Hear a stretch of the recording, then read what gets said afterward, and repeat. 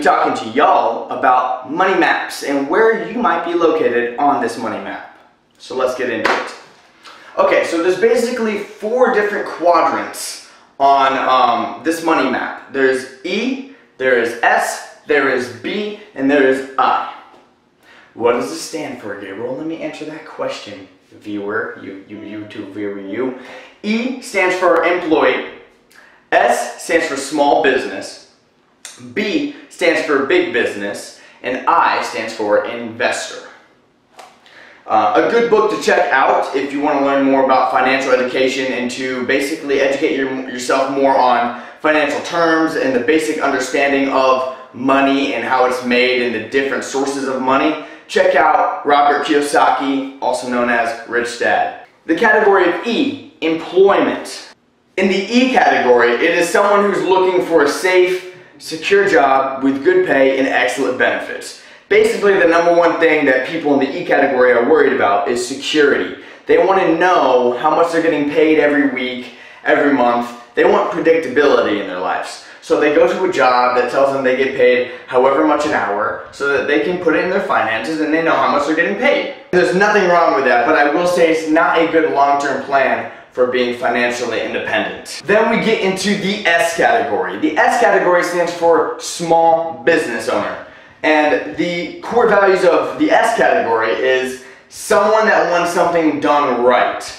So this is usually someone that tends to be very well off on their own. They're very independent. They can do a lot of things themselves. So they end up getting into a small business, creating a business for themselves, which is very entrepreneurial and very good for them. But what they don't realize is that there's a lot of stresses and worries that comes with small businesses as you all do it yourself. When you own a small business, all that pressure is on your shoulders.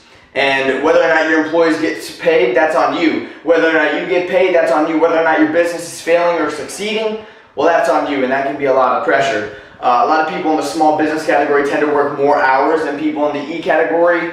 And um, to be completely honest with you, it could be a huge success or a huge bust. But it is a lot more work, and it's for people that tend to be very go, go, go with uh, their lives. The core value for someone in the S category would be independence. Because these people don't take nothing from no one. They don't want bosses. They don't want to go into a job that they hate. Clear up any confusion. Yes, commission-only jobs do count as S category um, as you are an independent contractor and you are basically in charge of making your own money, making your own sales. So if you have a commission-based job, you can consider yourself in the S category as a small business The B, now we're getting onto the correct side of the money map. People who are in the E category and the S category, well there's nothing wrong with that. But I will say that people in the E category and the S category make drastically a lot less money than people who are in the B category and the I category. And that's not because people in the B and I category work any harder than people who are in the E and the S.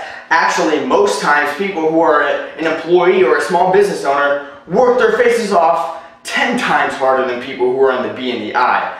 But working hard doesn't always guarantee you more money.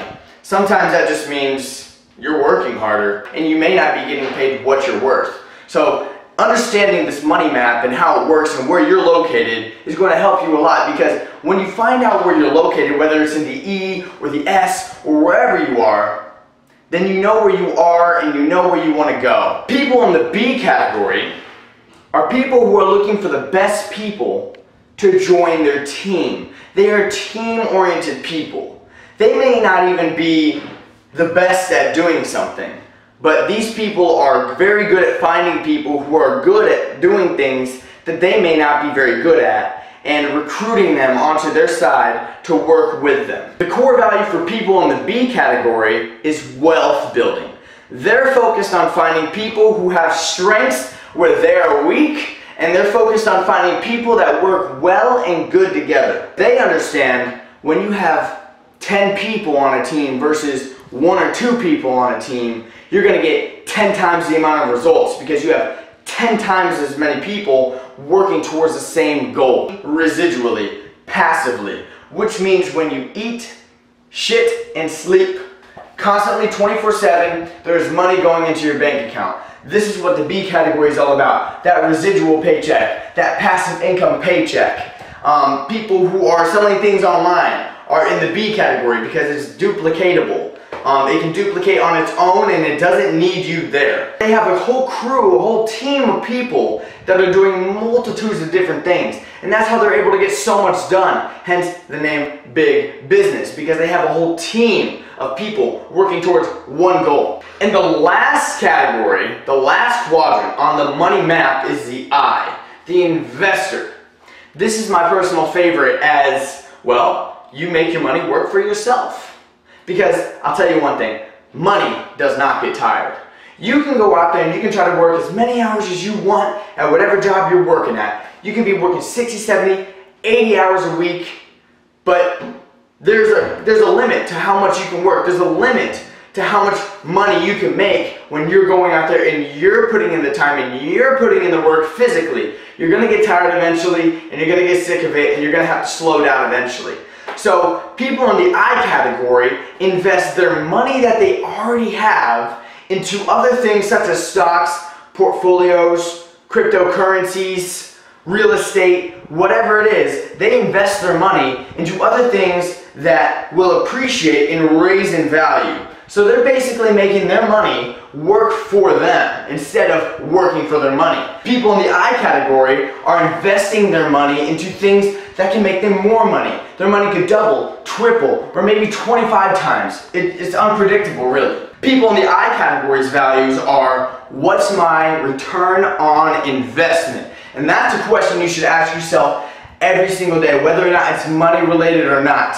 Whenever you choose to do an action, ask yourself, what's my ROI? Even if you're stuck at a job right now, I completely get it. But what you can start to do is you can start to implement the mindset of people in the B and the I category and start to think with their mindset. People in the I category are focused on what is my return on investment. They're focused on financial freedom. And I want you to take that question and I want you to think about that question very often throughout the day, even if it's not money related. Let's say you're going to the gym. I want you to ask yourself, What's my return on investment? What am I getting out of this? Well, you're getting a healthier body. Well, what's my return on investment if I eat a cheeseburger or if I eat a salad?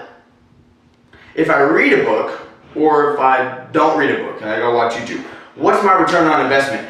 Hey, you may be stuck in the category of employment or maybe small business and you feel stuck right now because you feel like you can't make the move to B or I. But what you can do to slowly start working your way there is you can start implementing the same mindset, the same way of thinking into your mind so that you can start thinking like a big business owner, so that you can start thinking like an investor. And then you will start to attract that reality of a big business owner and of an investor.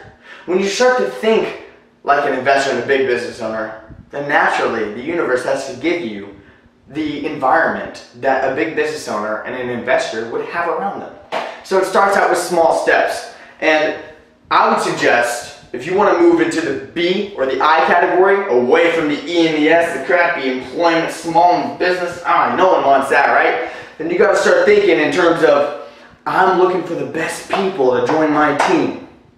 You gotta, you gotta search for people. Your social circle will determine everything about you how you think, how you behave, how you talk, health, wealth, love, happiness is all determined by your social circle. We are we are animalistic beings. Monkey see, monkey do, man. When you see your buddy drinking a beer, you want to go drink a beer. When you see your friend smoking a cigarette, you want to go smoke a cigarette. When you see your friend working out, going to the gym, and reading books, you want to work out, go to the gym, and read some books. Because we are we're wired that way. We're wired to fit into the environment. We're wired to adapt. So when you force yourself to bring in people into your social circle that are in your best interest, again, thinking, who's the best people to join my team? Then you start to think like a big business owner and you start to surround yourself with like-minded people. And then it's not only you.